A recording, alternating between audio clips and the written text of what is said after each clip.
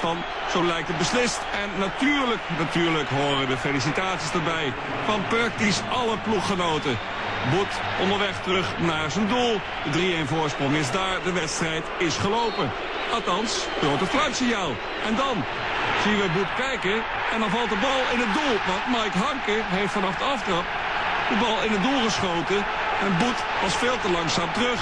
En zo wordt het dan toch nog spannend in de arena af Schalke. Want het wordt 2-3. Maar dit zijn beelden van de afloop.